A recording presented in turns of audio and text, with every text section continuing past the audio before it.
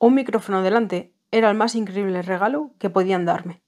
Sabía que había nacido para ser locutor, aunque bien sabe Dios, que tuve que luchar mucho para lograrlo. Pero lo importante es andar un camino, por muy tortuoso que éste sea, sabiendo que al final de él nos espera la culminación de un sueño que los demás no pueden comprender.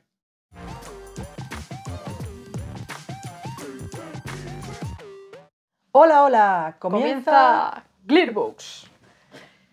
Bueno, una imitación un poco fail de eh, Pepe Domingo Castaño, Es pero un bueno. poco difícil, así que hola, buenas, bienvenidos a Glir. Somos Eir81, Hola, Glo9 y hoy traemos el libro hasta que se me acaben las palabras de Pepe Domingo Castaño, su biografía, Chip.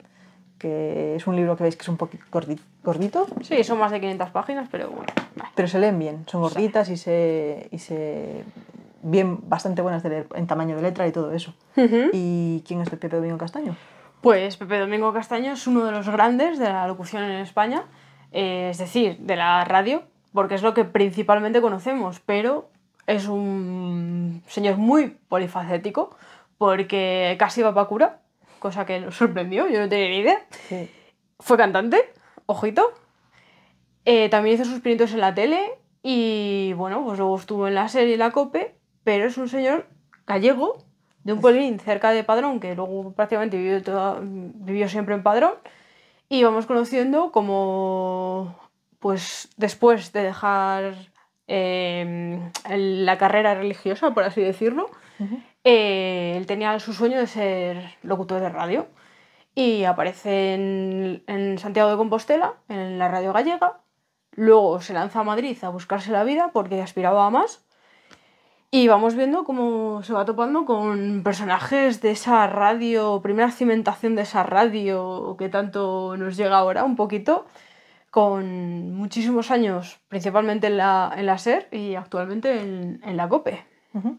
Ya veis que hablar de una biografía es complicado porque es la historia que es y se- supone que Glo normalmente habla del autor y yo hablo del libro, pero ya me ha dicho todo lo del libro. Entonces, eh, vamos a hablar un poco más sobre lo que es cómo es el libro en sí, porque hay gente que le dice que es un poco pedante al escribir, pero realmente yo no lo veo así. Yo- es un libro muy es fácil de leer y es un libro lo que tiene es muy, eh, un idioma muy literario, muy tirando a poético. Eh, la forma de ser de él. Quien, quien lo ha escuchado alguna vez en la radio, eh, con sus folios eh, cuando en el larguero o en el partidazo de las 12 ahora y tal, sabe que tiene esa forma de escribir, que lo escribe muy bien, que tiene esa... mm, Es muy locuaz, es muy... No sé cómo decirlo, tiene ese, ese, ese interior tan profundo que, que- que escribe las cosas de una manera distinta y especial. Y eso no significa ser pedante, para nada. Es muy gallego también, en ese aspecto.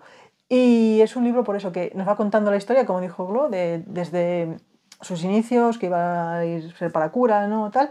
Y en cada capítulo vamos descubriendo, digamos, como anécdotas de, de su vida, a veces un poco descalabradas, porque dice, uy, ¿en qué año estamos? Porque a veces cambia un poco, salta un poco de un capítulo a otro. Y el libro se diferencia básicamente en dos partes que, se, vamos, que sí que se diferencian bastante bien. Sí. Una que es como, digamos, de niño, de su vida en Galicia, su vida eh, Cuando se va al convento. a al convento y después decide dejarlo, Ujú. sus anécdotas de niño, cómo se vivía aquella época, que también es muy... Es una novela también muy... Una novela, biografía muy costumbrista, eh, porque vemos cómo se vivía de aquella manera, eh, de aquella, en 12 aquella época. hermanos, o sea, Exacto. es una burradísima. Y se ve también cómo vive después en Madrid. Y por eso hay una época, digamos, en Galicia y su infancia, adolescencia, y después otra época cuando tiene que buscarse las castañas en Madrid y cuando viene todo más, digamos, es un más, más crudo, más realista de lo que es la parte de la infancia que era más eh, idílica, digámoslo así. Está contado muy bien, tiene un prólogo de Julio Iglesias Sí. y comenta todo aquello que hubo, los problemas de la COPE, y se ven las dos partes, bueno, la COPE de la SER, cómo tuvieron que cambiar, aquello es mítico en 2010 lo que pasó, que fue muy sonado, y cómo lo vivieron dentro de, de ellos, y la verdad que es una biografía que merece mucho la pena, Sí. la verdad. Sí, es. Además, luego viajas como un poco como la historia de la radio. O sea, por mucho que te guste la radio, toda la trayectoria que tiene él, es difícil conocerla para generaciones un poco más cercanas a las nuestras, que son un poco más, pues ya está, y de aquella cuando era la radio, porque la verdad que la radio perdió mucha esencia de radio-radio. Y cómo luchó por, por ese sueño de ir a la radio, porque él lo que le gustaba era la radio, ser locutor, y cómo Ujú. sigue siéndolo a su edad, ¿no? Sí. Quiero decir, es, y cómo te explica él por cómo ha intentado superar esto, por qué él sigue evolucionando y todo eso. La verdad que es muy interesante. Claro, y eso nos lleva a lo que más nos gusta, que lo que más nos gusta es precisamente eso, que cuenta todo sin pelos en la lengua, las cosas son como son, te guste o no, o sea, eh, sobre todo a- aprender todo lo que pasó y ver cómo pasó, es un poco ojito, eh, Mete cuidado. caña, mete caña Eh, a diestro y sí. siniestro en- algunos aspectos. Sí, Y vale, que puedes decir, aquí vendrá gente diciendo, ah, porque es muy de tal o muy de cual. Y pues es muy... Ya Sí. sabemos, lo típico que hay ahora de que o eres de un bando o eres de otro. claro, Y la verdad, cada uno puede tener sus ideologías, pero lo que Ujú. importa ahí realmente es el, la vida. Quiero decir, no, no, no- no- deberíamos estar marcados por una ideología, sino por una...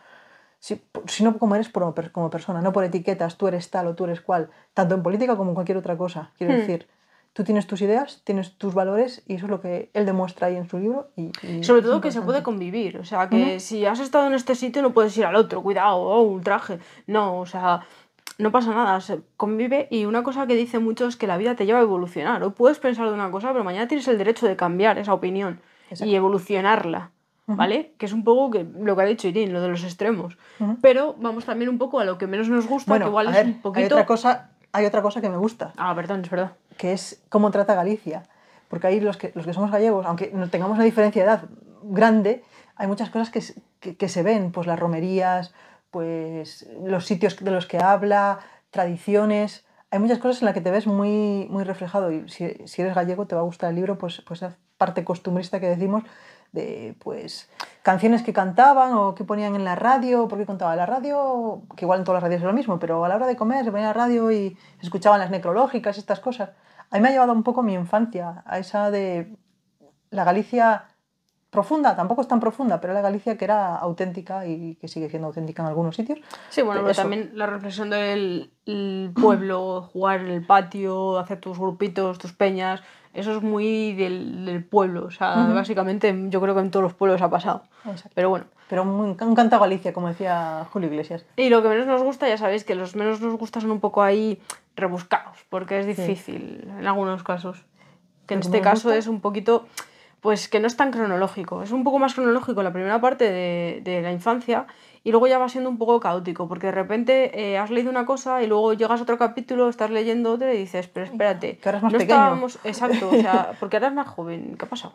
Sí, sí. Pero bueno, Pero es, digamos, como una narración hecha, digamos, que él va sacando sus, sus ideas, sus, eh, sus divagaciones, sus recuerdos, entonces se, puede entender ese cambio de, pues era un niño, tenía 8 años y hacía esto, después tenía Sí. 20, después volvía a los 15.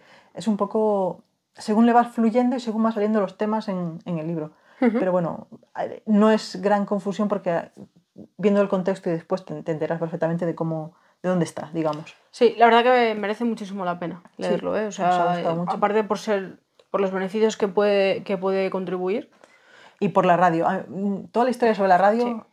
es que la mucho. radio, la radio es mucho, es muchísimo, es un medio muy importante. Ya sabéis que abajo en la descripción tenéis el enlace al libro, Y o al- sea, al, sí, al libro y al post al también, post. en el que explicamos ahí, ponemos algunos enlaces a lo mejor de interés y demás para que lo veáis. Ujú. Y nada, comentarnos si lo, si lo leéis, Sí. qué os parece. Sí, ¿qué os parece? O a ver. Así que nada, si os ha gustado el vídeo, dadle a me gusta. Si no os habéis suscrito por lo que sea, suscribíos Dad a la campanita para que os avise cada vez que sacamos vídeo y nos vemos. en próximos vídeos. Adiós. Chao.